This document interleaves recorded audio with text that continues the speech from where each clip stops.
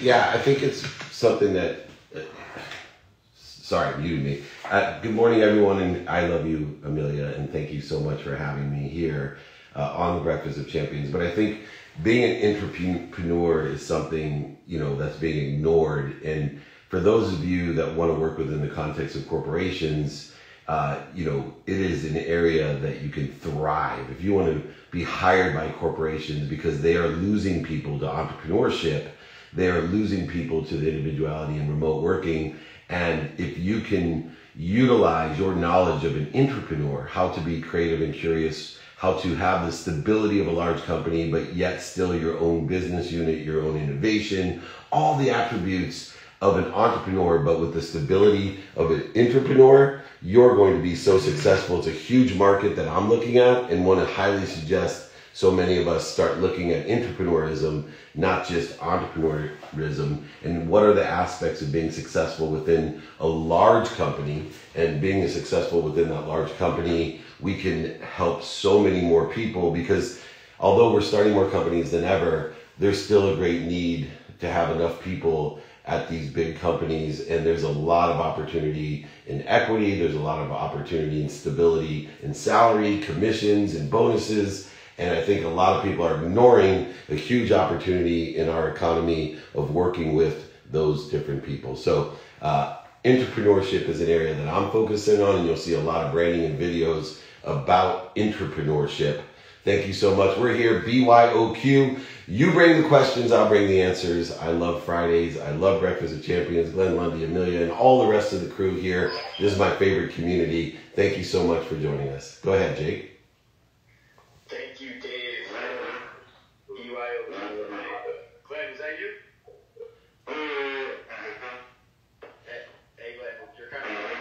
He, so, he sounds like Charlie Brown. yeah. Welcome everyone. It is Friday training. We got BYOQ. You bring the questions. I'll bring the answer. When someone else meets you, when someone else meets you, it'll reset. Thank you, Brianna, and thank you, Glenn. Thank okay, you. Dave, we've got a question here from Instagram. The question is from Blaine. The question is, what are the components of a perfect pitch? Uh, you know, obviously been through a lot of pitches with elevator pitch, uh, which is coming out with season number seven, uh, two minute drill, which is a two minute pitch show. Uh, there's five component components of the pitch, but before we get to the pitch, I want to remind everyone: pitch to an open mind. Uh, it takes a thousand times the effort, energy, money, and value to re-engineer a closed mind that does an open mind. Uh, I have an open-minded template I've been giving people to show them how to quickly assess whether someone has a closed mind or an open mind. So it does you no good to pitch to a closed mind. Uh, trust me, even if they're the perfect avatar of what you've been looking for your entire life or your company's entire existence, it doesn't matter. A perfect avatar with a closed mind is a waste of time. Find an open mind and then qualify them through your pitch, whether they're sponsors, they, which means they know somebody that can help you, or a power sponsor, meaning they can help you and they know someone that can help you. But when we find an open mind, what we want to do is number one, we want to make sure that we are credible. I can't tell you how many people overlook the most important part of a pitch, which is credibility. Uh, illuminating all the weaknesses, all the mistakes that we've made, illuminating any past transgressions that you've had, credibility of not overselling, back end selling, lying, manipulating, and cheating, thinking you're doing yourself service by uh, omitting things, you need to work through credibility because people are not as uh, yeah, going to say as dumb as they look. I would be speaking to myself. I'm not as dumb as I look, and obviously people think I am because they'll go ahead and oversell, back and sell, line manipulate, and try to cheat me on their pitch, even on the TV show. Uh, and all you've done is open a can of worms and send me down a hole of skepticism, which then ruins all the credible things that you have to say. The second component is emotional attachment. You know, like Maya Angelou says, people will not remember what you said, they'll remember the way they feel. That's why there's so many dogs, by the way, in so many commercials that you see. Why? Because they make us feel good. And so, you know, if you remember the Hyundai commercial that listed out five cars in a row from biggest to smallest, but put five dogs right by them from biggest to smallest, they didn't care if you looked at the the cars. All they wanted to do was make you feel good. And pets and dogs in general, they make us feel good. They give us a dose. Dopamine, oxytocin, serotonin, endorphins are released when we see or are comforted by an animal. And so what they want you to do is feel good and then identify, oh yeah, that was Hyundai. And that makes me feel good. I'm to go buy one of those cars because it makes me feel good. So credibility, emotional attachment. Then it comes to the math. The three next components in a pitch are all about math. Uh, the quantitative value of the math. In order to have a successful pitch, you have to reach one threshold, and that threshold is to be able to articulate the quantitative value to exceed what you're asking for. See, a lot of people in their mind think they can show or illustrate, or their deck did, or they did, they could illustrate a quantitative value to exceed what they're asking for because they know everything about it. But in two minutes to pitch, or five minutes to pitch, or 20 minutes to pitch, uh, they can't do what you've known for your entire existence with the desire that you must be what you can be with all the investment that you've made into the company or the pitch that you have given. So you need to make sure that you can articulate the value to exceed what you're asking for. The way we do that is one, quantify the reasons somebody should do what you're pitching. Two, quantify the impact that it has. Uh, especially nowadays, impact is extremely important. And then understand the capabilities, your own desire and knowledge, and your own skills, or the company's service or solution skills, knowledge, and desire, in order to effectuate those reasons and impacts. And so when you can quantify and articulate the quantified value to exceed what you're asking for with reasons, impacts, and capabilities tied into the emotional feel good and alongside always staying credible, integral, and being able to illuminate the weaknesses and the omissions that other people don't. I promise you, you will have the statistical success in a pitch like you've never seen before. And guess what? It requires one thing practice. the number one reason that people don't pitch well is the number one reason they don't do other things well is they're not enjoying the consistent, persistent pursuit of the perfect pitch. They're not practicing.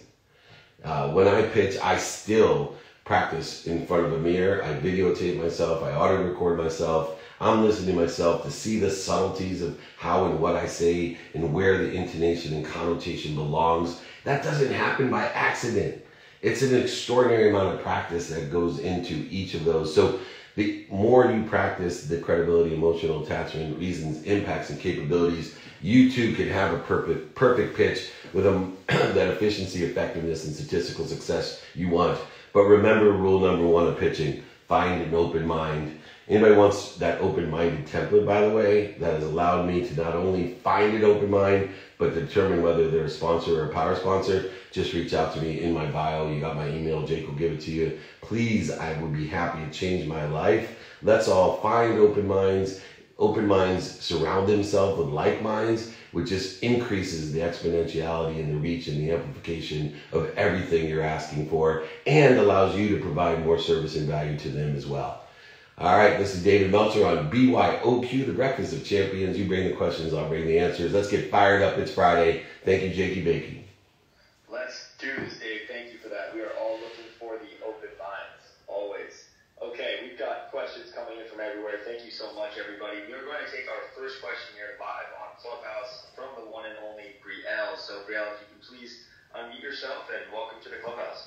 Hey, thanks so much. Yeah, you know, Dave, here on Clubhouse, I get this question a lot, and I think you'd be the perfect person to answer it.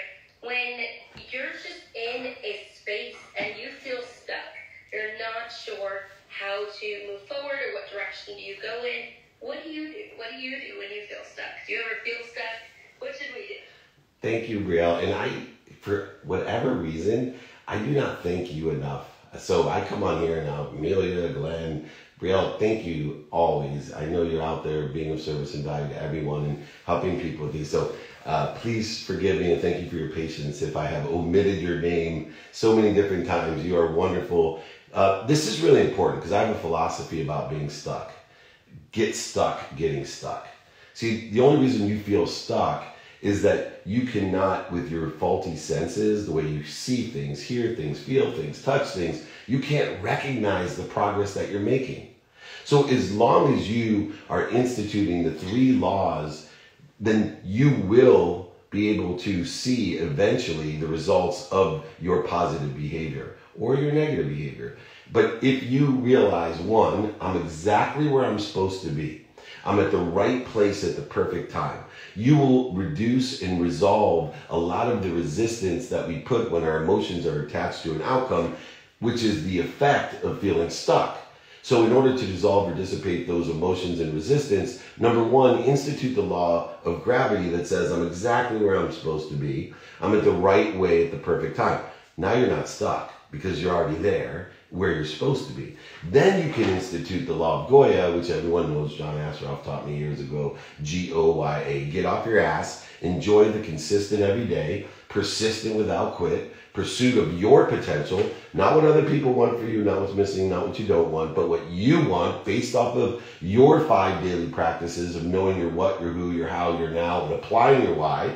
But if you institute everything you have, the desire that you must be what you can be, with knowing that you're exactly where you're supposed to be at the right place at the perfect time, you now will create a void for the universe to fill. You now will create and expand and accelerate and exponentially grow. You will allow life to come through you. You see, life is longing for itself, so it's impossible for you to feel stuck. And when you feel stuck, it's just a matter that you haven't put the mindset, the heart set, and what that conscious activity that you have going on into the respective gravity and Goya to allow things to happen. See, the last law, the law of allowance, the law of attraction, I call it the law of faith, says this. I'm doing everything I can to get to where I want to be, but I have faith I'm going to be somewhere better. So if I feel stuck, stuck, it's just the recognition that I'm not where I want to be. So I have to dissolve and dissipate the emotional attachment to where I think I want to be. And the law of faith, the law of allowance, and the law of attraction say I'm going to end up somewhere better. See, there's only two types of people, Brielle.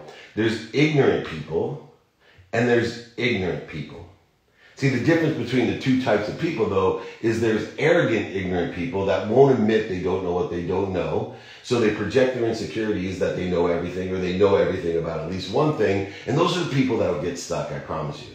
Then there's humble, ignorant people. And the humble people say, I don't know what I don't know. I live with rule number six in mind. Rule number six in mind is created by the Zanders, by the way. Uh, rule number six says, I'm not taking myself so seriously. That doesn't mean I'm not going to do my best. It doesn't mean I'm not going to learn something. It does mean I'm going to have fun in everything you do. And it does mean it'll dissipate, dissolve, and disappear all those feelings of stuckness. And understand that I'm just consistently, persistently enjoying the pursuit of my potential, instituting the law of gravity, Goya, allowance, attraction, allowing things to happen by understanding what I am already See, when you know you are healthy, happy, wealthy, and worthy, you're just inter- getting rid of what interferes with what you already are. That's where the law of faith says all this pain, all this stuckness, all these struggles, setbacks, failures, and mistakes they're propelling me to a better place, a better position, in a better situation. They're not punishing me. They're not holding me down. I'm not living the myth of Sisyphus, pushing a boulder to the top of the hill just to have it roll down at the beginning of every day. No, I'm plateauing and growing, instituting the five daily practices of what, who, how, now, and applying my why. Law of gravity, law of Goya, and the law of faith. All of these things will allow you to get stuck being stuck and realize that's how I get to where I want to be. Nope. That's how I get to a place that's better than I want to be. This is David Meltzer. Thank you so much for Brielle bringing up that important question. That's a powerful answer. Thank you, Jake, for the time. Of course, Brielle, you're amazing. Thank you for everything that you do. Okay, everybody, there are ignorant people and there are ignorant people. Thank you so much for that insight, David. All right, so next up, uh, we'll be coming back to Clubhouse for Patrick Feeney, but in the meantime, Dave, you got a question from your Friday training, and it's from Christina. The question is, uh, I often hear you say, pray for their happiness. I recently heard you expand and pick, picked up on a nuance that I hadn't heard before. Uh, you pray for their happiness because it's for others, so that person can be kinder to others if they are happier. Can you please expand on what you mean when you say pray for their happiness? Thank you. Yeah, thank you, Christina. I always appreciate uh, the great questions from everyone. You know, people attack us, they have judgments and conditions uh, especially if you. And what helped you put the pieces together exactly? Hey, make sure that's muted, Jakey. Um, Thank you. Side side. Sorry about that. Can you mute that? Sorry. Um, anyway, um, there's you know especially on social media people attack you and if you have a need to be offended this can be a serious interference to what you are and the acceleration growth and compound interest that you want in your life when you start looking at what other people want for you. And when you realize that you give meaning to everything you see but so does everybody else. And if somebody has a need to attack a need to judge or a need to put condition separation inferiority or superiority into the context of me and them the relativity between the two of us there's only two things i need to do. One is to understand where they're coming from because where they're coming from is what they're giving out. And the more that I can understand why they would project those attacks and conditions and judgments onto me to try to diminish my capacity of sharing my light and liberating other people to share their light, I can get a better understanding of how I could be of service or value to them by what? Not only praying for their happiness, but actually trying to make them happy by doing good deeds, by being kind and kind to my future self and to them, and teaching them and empowering them, not by what they hear, by what they see. And they learn just like children, right? It's not what I say, it's what they hear, and what they see is how and what impacts them and provides the seeds in which will be the trees that them or other people will sit under. And so, what I do, um, understanding how things work is I pray for their happiness. Happiness is the truth. Happiness is the most viral of all diseases. It's shared simply by giving it, by receiving it, and by witnessing it. So I know you can put your mask on all you want, you're still going to catch my happiness, and it's going to change your life more than anything else. So I'm praying for happiness as a good deed in order to effectuate knowing that happy people don't judge. Happy people don't put conditions of inferiority, superiority, or separateness on things, and happy people do not attack.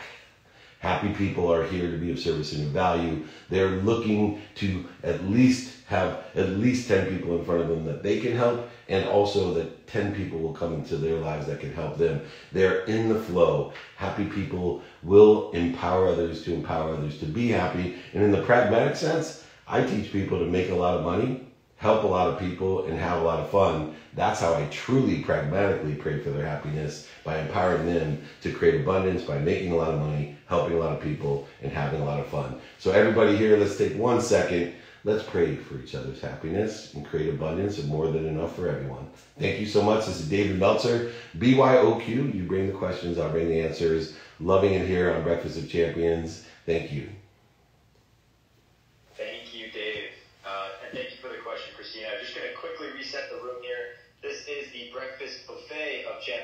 Here on Friday morning at 6 a.m. Pacific time. We're here with the Power Hour with David Meltzer. Thank you everybody for joining. If you'd like to ask a question, we've got about 41 minutes. Please feel free to back channel me, uh, and I will aim to bring you up. And then, of course, David is currently live on his Friday training on Instagram and LinkedIn, so feel free to ask questions wherever you'd like. Thank you so much, everybody, for joining. And also, let's take a quick second. Uh, follow the people next to you, follow the people on stage really trying to create an unbelievable community here on the best room on Clubhouse, the Breakfast with Champions. So we've got uh, incredible questions so far. Next up, it's uh, Frank Feeney, who is a fellow San Diegan. So Frank, if you can please unmute yourself and welcome to the Clubhouse.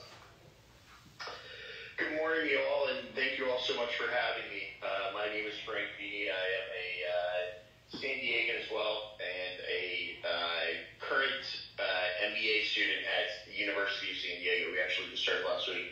Uh, Dave, I learned about you through one of my fraternity brothers who works uh, for you named Nick Laser, and I know he's doing amazing, amazing things with you, and just really appreciate all of your leadership. My question for you is, since we just started my, our MBA program, we have been taking a class this week on strategic decision making for entrepreneurs. And so my question for you is, as an entrepreneur, what has been the hardest decision you've ever had to make?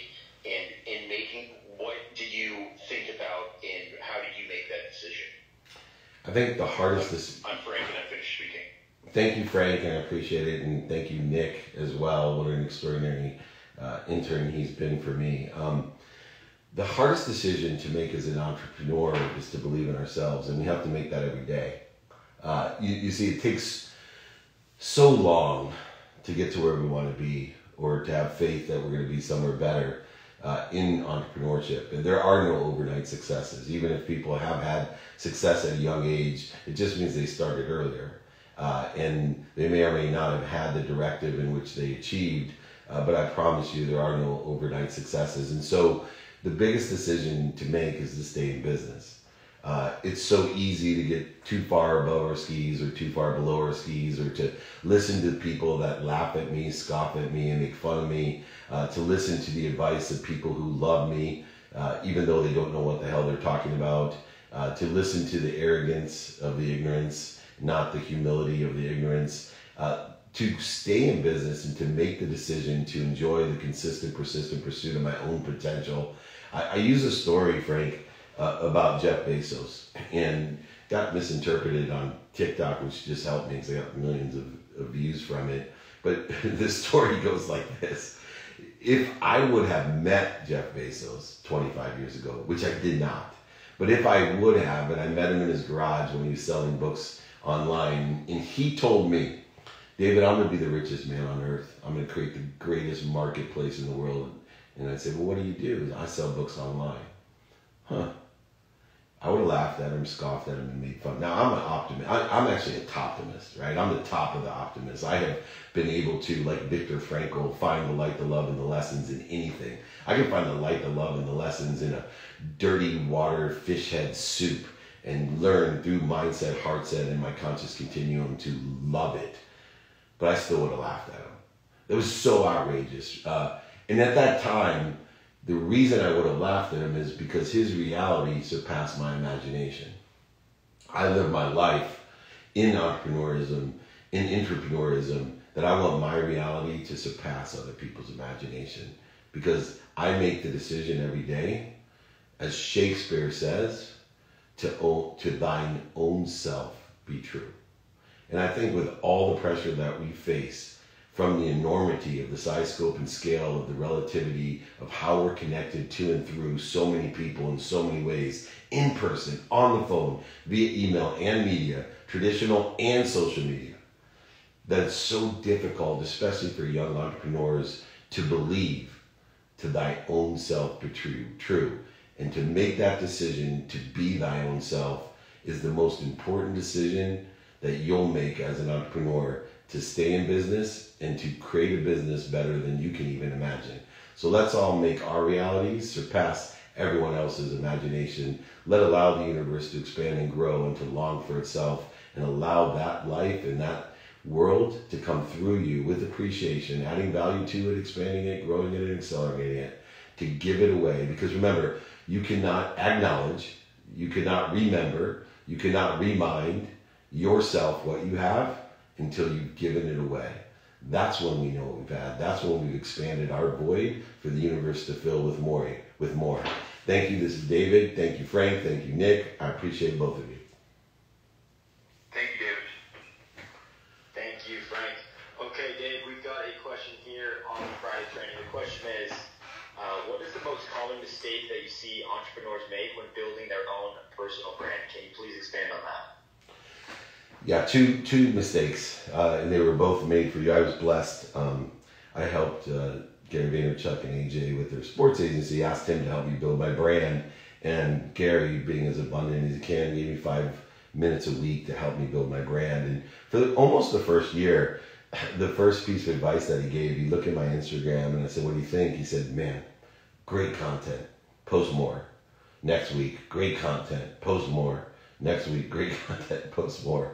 So uh, to build your brand, you got to have a brand. You have to raise the awareness of who you are. You have to raise the awareness through consistent, good content. Your content will continue to get better, uh, but you need to put thought into that brand of what your frequency is. To thy own self be true uh, with that frequency. But you got to let people who know who you are. Uh, and then, secondly, to build your brand, you have to understand another Shakespearean law to thy own self be true, but also the whole world is your stage. So not only do you need to post, but you have to realize that everything that you do in person on the phone via email, traditional media, and social media should be captured, should be modified for all the different platforms, amplified through all the channel partners and platforms, and perpetuated where possible so that you can continually aggregate your brand, accelerate your brand, compound the interest of your brand exponentially so that it builds like Noah's Ark two by two by two by two. Go ahead and use the exponential factor of two and see that within 20 permeations of two times two times two, it equals two million times two and that equals 4 million, then 8 million, then 16 million. So whatever the segmentation of the amount of time that it takes to double your twos, that's what you should be after when you're building that brand. It only comes from being consistent and persistent with your band by posting more, by capturing what you are and who you are and how you are and the why you are. By doing so, modifying it correctly by using the knowledge of others to figure out where the best and what the best is to post and then amplifying it through all the people that are relative to you and perpetuating it for future use and monetization. Utilize to thy own self be true. Utilize the stage theory. Post more than you ever thought you would. I always say until your family and friends tell you you're annoying and you're posting too much, you haven't reached the minimum amount that you should be posting. Uh, this is Dave Meltzer, and find your frequency, strengthen it and the spectrum, and you will build a brand and detach your emotions from the outcome. Thanks. Thank you, Dave. Find your frequency and the Noah's Ark strategy, two by two by two. That's uh, an efficient way to build your brand, among other things. Thank you so much, Dave. Okay, we've got Mike Mamola here on Clubhouse. Mike, if you could please unmute yourself and welcome to the Clubhouse. Good morning, good morning, everyone. Thank you, Dave and Jake. Thank you. I don't thank you enough, and thank you not only for bringing me up, but for also doing such a tremendous job every day. Dave, I want to go back to something that you said with regard to credibility. you know, working on uh, NFTs and the things that I'm so passionate about right now is partly because of that, right? The, the digital or technological instant verification, authenticity, and credibility of what's being done. But like you said, when we're dealing with people, very often, you know, startups or pitches or whatever they're doing, they might not be as credible as they think they are. and we know that credibility, like any other thought or emotion, is a vibrational frequency that we carry. And if we can carry it the right way at an elevated state, we become more of the flower rather than the bee. And so when we're going out trying to sell companies and everything, it, it becomes easier. We know some of the best companies sell themselves. That's because they're more of a flower than the bee. How do we become that? How do people, like the people that I work with, I don't think they overtly know that they're not being credible. They're not being honest with themselves. Is it through mentorship? Is it through working with partners to help them tap into and identify and solve the problems that they have with being not only honest with themselves, but then with others and what they're doing. Yeah, the way that we help other people with their integrity, with their credibility, is to trust them and vet them. You know, I talked about this last week in training uh, that trusting and vetting are one and the same. Once I shifted my own perspective of vetting, you know, I used to think that I was discrediting people by vetting them, that I was offending them by vetting them, by asking hard questions. Somehow uh, it was uncomfortable. But actually, what I was doing was acknowledging and helping them by asking the hard questions, uh, by asking actual money questions, by asking, you know, who, what, where, when, and how questions that everybody's afraid to ask. And then when things don't work out, we blame them for what we already knew that they were lying, cheating, overselling, manipulating uh, us um, with good intentions, usually. Uh, most people, right, if they're lying to themselves, they don't even know they're lying to you. I used to get offended when people lied to me, and now I just realize, well, they don't know. They're lying to themselves. They're just projecting that onto me, and they, you know, believe. Uh, very few people intentionally oversell, back and sell, lie, manipulate, or cheat uh, intentionally. Uh, and if they do, they vet out really quickly. Uh, but you have to ask the hard question. There's a book written by Stephen Hurts called "Don't Take Yes for an Answer."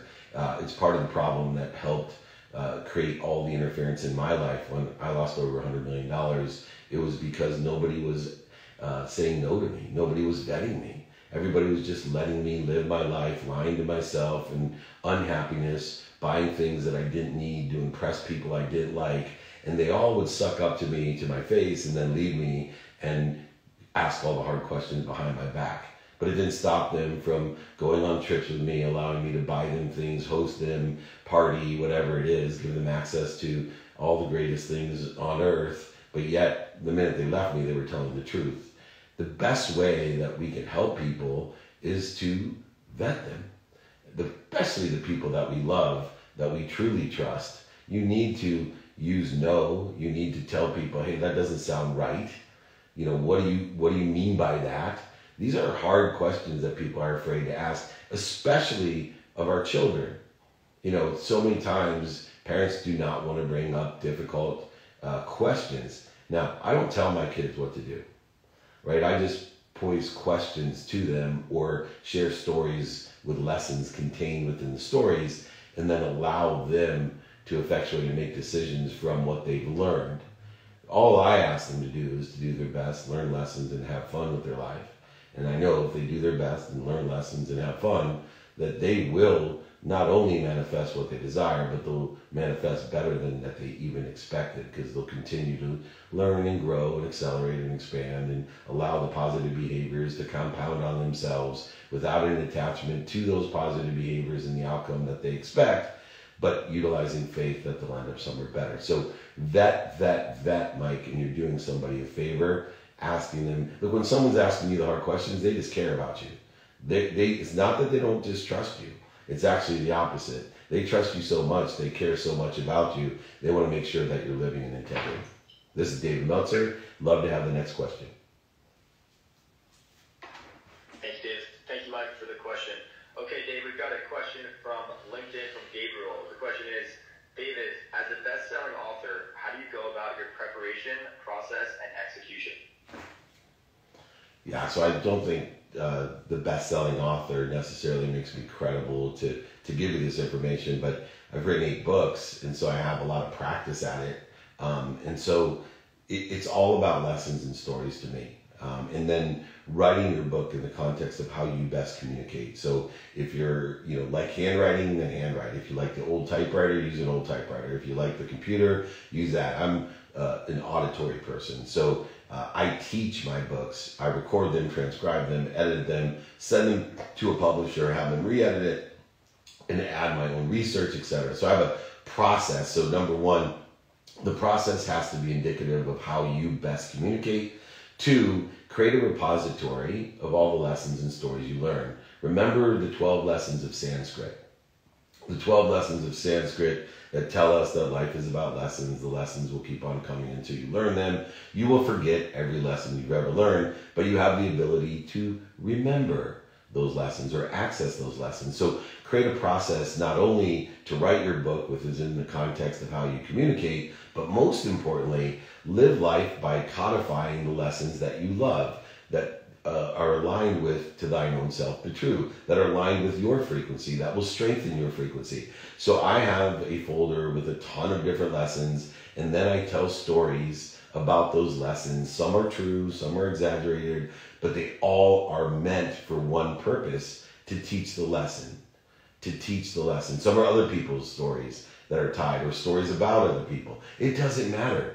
The greatest thing is I don't write out the stories. I notate the stories because then I tell the stories differently every time. I allow the stories to grow, expand, and accelerate. I allow the stories to gain their clarity. So it's not what uh, people hear in the stories, right? It's not what I say in the stories, it's what people hear. Most people make the biggest mistake when writing a book that they don't tie in the lessons in the stories, organize them efficiently and effectively in whatever the bigger overall theme is. So, for example, I'm writing a book right now called Don't Do Business with Dicks. Not Dicks Sporting by the way. And uh, there's a ton of lessons that I've learned because I've surrounded myself with the wrong people and the wrong ideas. I've surrounded myself and interfered with what I already am happy, healthy, wealthy, and worthy. And so I've gone through my repository, a whole list of lessons with notated stories next to it, organized it into 10 chapters, and I'm currently writing each chapter, and then I'll go and read each chapter, write an introduction, then I'll read it again and write the conclusion. I also seek help. So along the way, I have publishing consultants that will write questions and vet me and say, this doesn't sound honest, this isn't right. Go do research. This sounds like a Meltzerism, totally woo woo. Nobody's going to get what you're saying. This whole frequency, vibration bullshit, tracing calligraphies or whatever else. They call me on my BS and then make sure that not only am I strengthening my signal in a book? Not only am I speaking to the spectrum of people that have been able to tune in to what I say, but more importantly, they clarify my message so that they can understand the lessons in a better way, a more enjoyable, entertaining way. So create a lot repository of those lessons and stories. Create uh, a way to organize them. Ask for help from those people that have sit in the situation that you want to be in. I'm happy to help anybody with this. I help tons of people uh, organize and figure out how best to communicate the lessons and stories that they want to tell. Uh, so just go ahead, look at my bio, reach out to me. Happy to give that to you. Jake, this is David Meltzer. Why don't you reset the room real quick? It's BYOQ on Breakfast of Champions.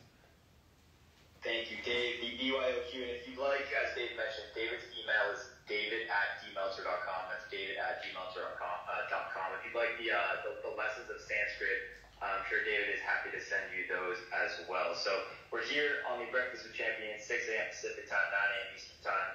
It's been an incredible 36 minutes so far. We've got about 24 minutes left. Feel free, uh, if you'd like to ask a question here on Clubhouse, just use the back channel and we will aim to bring up as many people as possible. Uh, thank you again, David. We've got next up Sean Walchef here on Clubhouse. So, Sean, if you can please unmute yourself and welcome to the Thanks, Jake. Thank you, David, for having me. Uh, full disclosure, David is my business and media mentor. We're trying to build the Amazon Prime of barbecue in San Diego, and David has been instrumental in doing that, and uh, I'm grateful to be here on Clubhouse. Uh, David always says you're exactly where you're supposed to be, and I, just from the lessons and stories that he's sharing about Gary Vaynerchuk and Jeff Bezos this morning, I know I'm exactly where I'm supposed to be. So, uh, David, my question for you is two-part. Number one, on Instagram, I noticed it is David Meltzer Espanol, so you've launched your third Instagram account, so you're following Gary Vee's advice of posting more. Uh, why did you do that? Two, why is every business in the media business? You've already talked about Shakespeare, which is one of my favorite topics you talk about, so I will unmute the mic. Thanks for having me. Yeah, thank you. And I love the fact that Sean uh, started with one small uh, barbecue store in Springfield, uh, Spring Valley, uh, San Diego, and uh, would not believe the size, scope, and scale of not only the barbecue business, but the media side of what he does worldwide with Yelp, uh, and soon to be launching, you know, a major publication as well. So, congratulations, Sean. Um, you know, I have a lot of different accounts uh, that I use. Some are test accounts, uh, but as my brand has grown, uh, there's such a huge population that speaks Spanish uh, that has reached out and uh, because of the subtleties of my use of language and vocabulary and the nuances of how I speak, I wanted it to be translated into Spanish to carry the frequency that I have. So I will be launching more and more types of Instagram accounts for two reasons. One is to test, uh, and two is to reach. Uh, so those are the reasons I use so many accounts uh, to reach different people uh, in different languages, different areas, and different genres. I even split up my podcast, so I've had you know over a thousand episodes of my podcast. It was entrepreneurs. Uh, the playbook, and then Blue Wire uh, licensed it. So now we have a studio at the Wynn Hotel in the lobby, and it's Blue Wire's sports and entertainment playbook. Uh, so you can get all the sports and entertainment people on one, the entrepreneurs, and a mix and max between the two as well. So uh, you know, understanding the segmentation and the spectrum that you want to reach is so important. You cannot be everything to everyone unless that's what you want to be, right? If you want to be a TikTok star with 10 million, you know, viewers and hold up products and get paid that way, that's super cool. I'm looking for ambassadorship. I'm looking to empower a thousand people that truly understand the values and the daily practices that it takes to make a lot of money, help a lot of people, and have a lot of fun. But not only learn that themselves, but empower them to empower others, another thousand to empower another thousand. So the depth of knowledge, the subtleties in what they know, like you, Sean, I know you're one of those thousand for me that will carry forward and pay forward the values and the daily practices that we consistently go over and keep learning and sharing and growing together. It's so important to speak to that spectrum um, and then the media side, you know, I'm buying up a bunch of billboards right now. Uh, and people are like, what are you talking about? Yeah, I'm buying all over the country a bunch of billboards. And what I'm doing, because they're really cheap, by the way, uh, is that people will still drive by those and I'll still get what used to be about 10 times, it costs about 10 times as much to buy a billboard. Uh, but I can create such unique content off of that billboard and I also can change the billboards digitally to say different things. so that not only can I have the aspect of people driving by the billboards, but I can have videos of the people driving by the billboards commenting. I can have stories about the billboards, use it as B roll.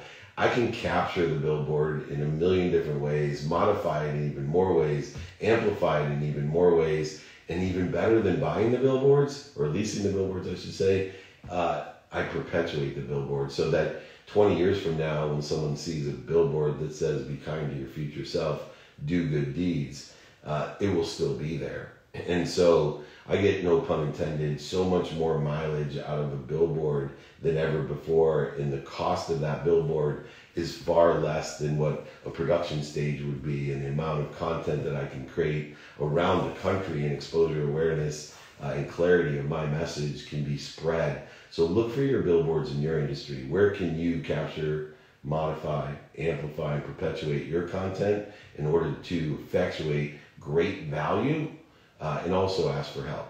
This is David Meltzer, and one of my star pupils, Sean Walchef. Thank you so much. Thank you, Sean. Thank you for asking uh, that question. Uh, Dave said, look for the billboards in your industry. That was a, a great lesson. Thank you, David. Okay, we've got a question here on the Zoom Friday training. The question is, uh, speaking about woo-woo stuff, Dave, uh, what do you tell people who don't believe in woo-woo stuff? How can how can they get over their, their thoughts on not believing in woo-woo?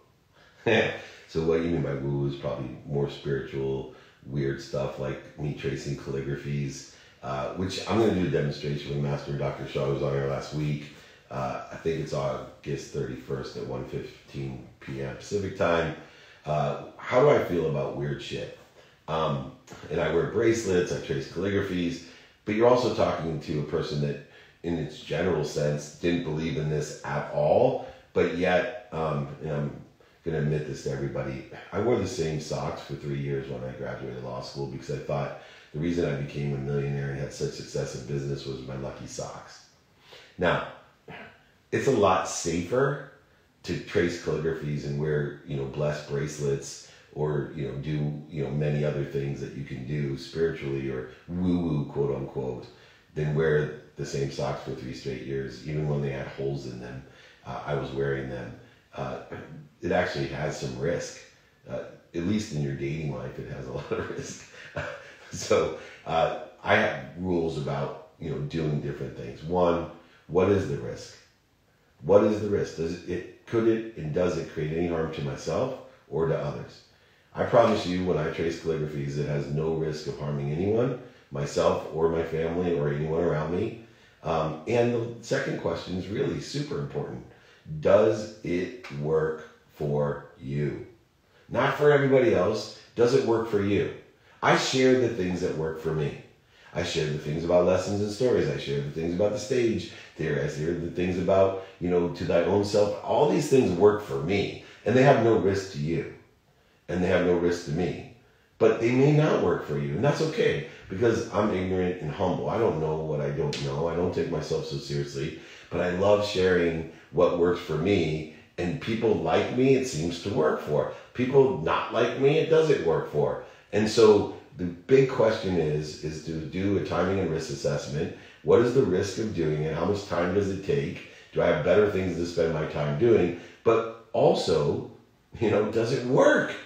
If it works for you, because my smelly, stinky socks work for me. But eventually it just, the risk became too great with athlete's foot and I really wanted to get married and it, I just couldn't understand why nobody wanted to go out with me again. You know, I thought it was my haircut, I thought it was my height, I thought it was my nose. No, it was my socks. So that was the only risk that I determined. So I decided I'm going to find something else that works for me instead of wearing the same socks every day. Uh, I did wash them once in a while, but I promise you, it probably wasn't the best decision for woo woo practice was to wear the same socks. Anyway, find out what socks you want to wear. If it has no risk and it works for you, please do it. This is David Meltzer. It's Breakfast of Champions, BYOQ. You bring the questions, I'll bring the answer. Uh, let's all share in radical humility. We know we're ignorant, but let's do our best, learn lessons, and have fun together. Thank you, Jake. Thank you, Dave. Uh, I think we're all looking for our socks. Thank you for that quick story right there. Okay, we've got Dr. Connor Hogan. Dr. Connor, can you please unmute yourself here on the clubhouse? Welcome. Hey, Jake, thanks so much. Yeah. First off, uh, love the socks thing, David. Uh, you must have been a great golfer as well, well back then. Seeing as you had like uh, you two socks and more than one, one maybe two holes in one. That's a really bad joke. I like it. yeah, I'm just uh, I'm looking at my own feet now, just thinking I need to uh, change my. But anyway, um, you achieved a whole lot, like sports marketing, sports, and entrepreneurship, and so on. And thank you, thank you for sharing so much so with us all. But you mentioned uh, there about positivity, and of course, there's positive psychology, science, there is. And you also mentioned you're a optimist, which I loved. You know, I love that uh, type of word, the way you uh, put the two words into one. So, how far do you think optimism and positivity can get entrepreneurs nowadays, especially if there's perhaps a changing economy on the horizon, given what happened in 2020? I, I love that question because I think people misinterpret optimism, optimism. And I'm going to add one more to you because my grandfather, who passed at 97, his name was Papa. So I called him the Poptimist, which was, he was the most optimistic person I've ever met. And the reason was, is it wasn't that he saw the glass half full. It wasn't that he lied to himself. See, optimism is something completely different, doctor. To me, optimism is the desire that I must find the light, the love, and the lessons in everything that I want to find. So it's a two step process for me. It's having that Viktor Frankl attitude of man's search for meaning. See, I believe that there's love, light, and lessons in everything. So I, if I want, determined upon my timing and risk tolerance, determined upon what I call the great chain of feeding, if it feeds me, I'm easily going to be able to find the light, the love, and the lessons, or it's easily going to be worth it. If it doesn't feed me, now I have a variant decision to make whether how much time and risk I want to put into finding the light, the love, and the lessons. But the biggest benefit of optimism is deciding that something's bleeding me. And the optimist says, I'm going to fire it from my life. See, we spend 80% of our resources, time, emotion, and value on things that bleed us. And if we can learn to shift that over to the things that feed us, we will get exponential results of a greater factor. See, things that bleed us have a negative factor in our life. Things that uh, feed us have a positive factor. I coach, you know, one of the biggest chairmen of one of the biggest companies on earth, and they had a client that literally was a $20 million client and they had a client that was a $2 billion client. And I asked them, why do you spend so much time, energy, resources, and money on the $20 million client and you barely pay attention to the $2 billion client? And they said, well, the $20 million client's a new client, they're high maintenance, we know they have great growth potential, we want to mature that relationship, so we're spending a lot of resources over here. And the $2 billion client has been with us from the start, they've already grown, and you know what, they don't need much help. I said, I'll tell you what, fire the $20 million client. This is an optimist, he said. Yeah, fire him. So why would you do that? I said, because doing an analysis in the great chain of feeding, if you take all the time, money, resources, and value that you put onto that 20 million client and you put it over the $2 billion client, your $2 billion client, instead of steadily growing, will double quicker. So you'll end up having a $4 billion client when you spend the resources, time, energy, value, and emotion on them, and you won't miss the $20 million client at all. So many times in life, not only do we do that with our clients, but we do that with our family. Right? We do that with our family. We allow the people that trigger our ego based consciousness, trigger our emotions, bleed us, and they end up putting us at a diminished capacity that we can't even take care of ourselves reallocate those resources. At the very least, let family members fall away that bleed us and sink your time, money, energy, and resources and value into the family members that feed us. And this is the best way to be an optimist is to decide where am I going to spend my energy, time, emotion, and value to find the light, the love, and the lessons that exist into everything. And to raise your own awareness of knowing what innately, quantumly, that you love you know, I use an example of if everyone here on Clubhouse, we went to the Del Mar Fair in San Diego and we walked down the, you know, unhealthy food aisle, we'd walk by the, you know, chocolate fried Snicker bar uh, thing, and half of us would go, oh my God, I love that. and the other half would get a stomach ache just looking at it. Well, that doesn't mean there's not love, light, and lessons in the chocolate fried Snicker bar. It just means that half of us innately in our quantum being, what we've inherited energetically and genetically, are attracted to or are aware of or resonate with the frequency of the chocolate fried Snicker bar. Now, some of us may choose to try it, even if it seems initially to give us a stomach ache. That's where the optimism lies. The optimism lies in the quantitative analysis of where to spend our time, our energy, our attention, and intention into the things that we don't naturally love. Are we willing or able, or quantitatively, should we find the light, the love, and the lessons? If you can do that, not only can you be an optimist, you can be a toptimist, or hopefully even a poptimist in honor of my papa. I appreciate the question, Doctor. Thank you so much, as always, for joining us. Jake, why don't you take a question from the, the webinar? Uh, there's a, so many lining up in there. Thank you. Thank you, Dr. Connor. Yes, will do, Dave. Okay, Rita from the webinar says, I just recently started to listen to you and appreciate your insight. I know I am very fortunate. My business is successful. Financially, I have more than I could ever imagine, and yet I don't feel happy. You once mentioned some similar situation in a podcast, but just mentioned it briefly. Can you please comment? Yeah, I think the most lost I've ever been was when I had the most uh, monetarily.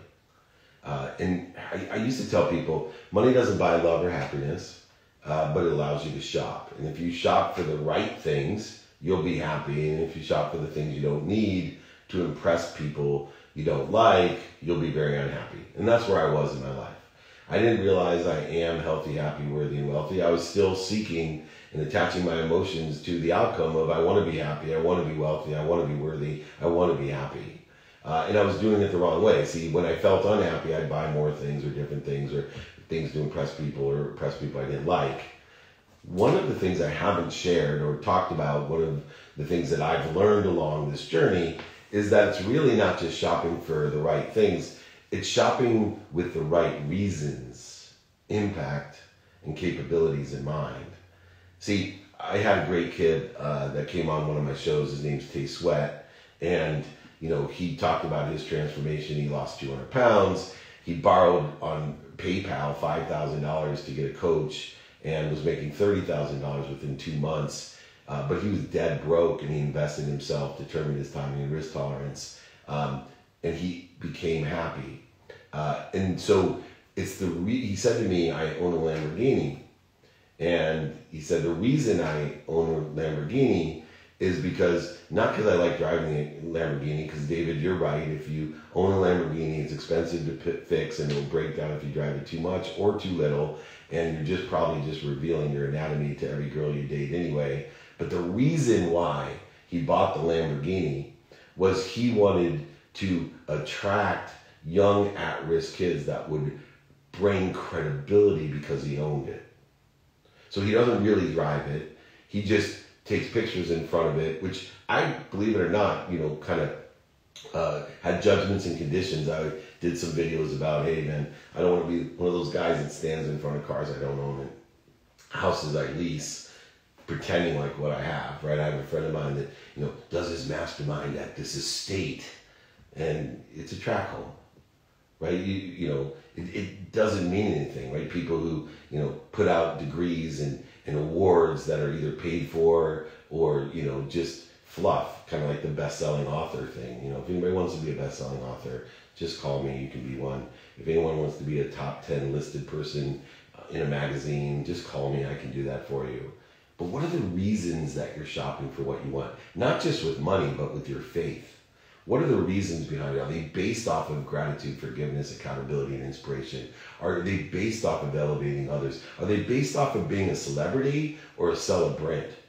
So when we look at the reasons, that's where the fulfillment, the passion, the purpose, and the profitability really come in. When we look at the reasons, then we're capable of truly believing the law of gravity, Goya, and allowance that I am happy, healthy, wealthy, and worthy. What am I doing to interfere with it? And so that's what I meant in the context of the lowest point of my life, which was the highest point of my bank account, uh, where I was not buying things with the right reasons in mind. Now I shopped with the right reasons, both with money, an object of energy that I put into the flow to get what I want, and my faith. Each of those combined and blended together reconcile into passion, purpose, and profitability. They reconcile into the fact that I am healthy, I am happy, I am wealthy, I am worthy. And remember, your health is the most important thing. It's a non negotiable. If you are healthy, you get millions of wishes. Wishes are the most valuable thing that you have because each wish not only takes nothing into a possibility, but makes it a probability and it will maintain you through the inspired uh, transition from probability to perspective or reality. Wishes are so valuable. If you're not healthy, I promise you only have one wish. Let's all have millions of wishes and take care of ourselves so we can take care of others. This is David Meltzer. It's Friday. It's BYOQ here on the Breakfast of Champions. I'm so blessed to be a part of this community, and I just want to say thank you. Thank you, David. Okay, Dave, we've got a question on uh, the training, and then hopefully there'll be time to answer Nina's question on Clubhouse. Uh, the question is, Dave, how do you get paid for referrals? I love that. See, we can go from the woo woo down to the stuff that I love, the pragmatic. I have an overlap agreement, and uh, I've used it ever since I regretted and had a need to be offended from all the people that I helped and made millions and even billions of dollars, and I felt as if I was cheated because I didn't get any of it. So instead, I started to manage and develop a, a relationship uh, and codify it by creating an overlap agreement for all the instances where I would make a referral or help somebody. And I just codified it up front and said, would it be worth, you know, 5, 10, 15, 20% if I made an introduction to you or uh, if I procured business for you? Does that sound fair? And look, I'm just codifying, not because I don't trust the other person, right? I just do it because I do so many of these deals. I want to remember who I promised to do what for and what I promised to do and what they promised to do for me. This has changed my life. And as I've been doing this for over a decade now, it's amazing. Seven, and now I'm getting close to eight figures of the quantitative value of helping other people. Uh, it's okay to receive, right? What, one of the greatest lessons that I learned was the more I give, the more I receive.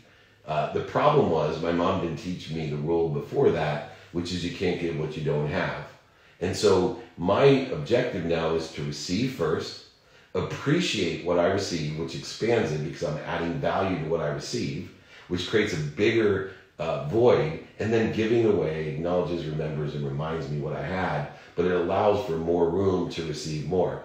So before you can give more to receive more, you have to receive. It's just like before you can react, you need your initial action uh, in whatever prayer, meditation, or whatever that may be in order to determine the plateau and grow of your life. My first action is to have an unwinding routine to start my tomorrow today at 9 p.m. by unwinding, putting my mind, my body, and my soul in a position to plateau and grow the next day, not live that myth of Sisyphus, getting stuck like Brielle talked about, but instead plateauing and growing, accelerating, expanding, compounding the positive behaviors in my life to create exponential results. All right, Jake, we got time for one quick more. Okay, one more. Nina, welcome to the clubhouse. Uh, if you can please unmute yourself. What is your question? Thank you, uh, Jake, for inviting me and um, David for uh, and sharing your wisdom. Uh, just had a question. You said to detach from the outcome, but how how do I do that at the same time as visualizing my future goals? Yeah. This, oh, thank you, Nina. This is really my failure to communicate. Um, so uh, people ask me that question all the time. So, I, you know, I'm not explaining that correctly. Detach your emotions from the outcome. Detach your emotions from the outcome.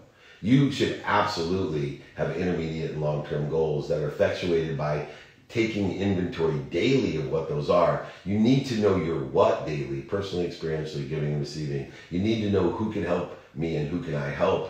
How can I get it done by being a student in my calendar, effectuating the mathematical equation of luck? Then you can create a prioritization of what's important in your life and then make those decisions accordingly and utilize your productivity, accessibility, and gratitude, effectively aligning it supplementary and synergistic to what you want. And applying your why, not attaching your why to the outcome that I'll be happy when I make a million dollars. I'll be happy when. No, I am happy consistently every day, persistently without quit, pursuing making over a million dollars is much different than I'll be happy when I get it. And so when we talk about detachment, it's solely the emotions that you detach your why from the outcome and put it into the journey, into the consistent, persistent pursuit of that outcome. When you can put those emotions there, you are detaching your emotions from the outcome and placing them on the law of attraction, Goya, and faith in order to effectuate accelerating, exponentially growing, and allowing yourself to decrease the resistance or interference of what you already have because you are already connected to and through everything. You are living between limitlessness and infinity. The problem is you have created a pretext of crumbs that you think that you have to limit yourself to making a billion dollars in your lifetime. No, it's crumbs. Go ahead, expand and grow. Make your reality surpass other people's imagination. Detach your emotions into the activities instead of detaching it and attaching it to the outcome. That's what I meant by that. There's a perfect blend of patience and persistence when you enjoy the consistent everyday, persistent without quit pursuit of your potential. All right, everyone, this is David Meltzer. It's 7 o'clock. I went a couple minutes over. Thank you for your patience. Please join me every Friday here on the Breakfast of Champions on IG Live, LinkedIn, and of course, over 50,000 people on the webinar registered here. I appreciate all the questions. If you did not get your questions answered, email me david at dmeltzer.com. I will answer every single question myself. David at dmeltzer.com. The templates that I offered, anything that you want, please reach out to me. Book, audiobook, I'll sign a book, send it to you, pay for shipping. I don't care. Please reach out. I'm here to be of service and of value. And this is the communicate that I value the mo- community that I value the most. Thank you, Jake, Glenn, Brielle, everyone else, Amelia. I appreciate, love you. Be kind to your future self and do good deeds. Close it out, Jake.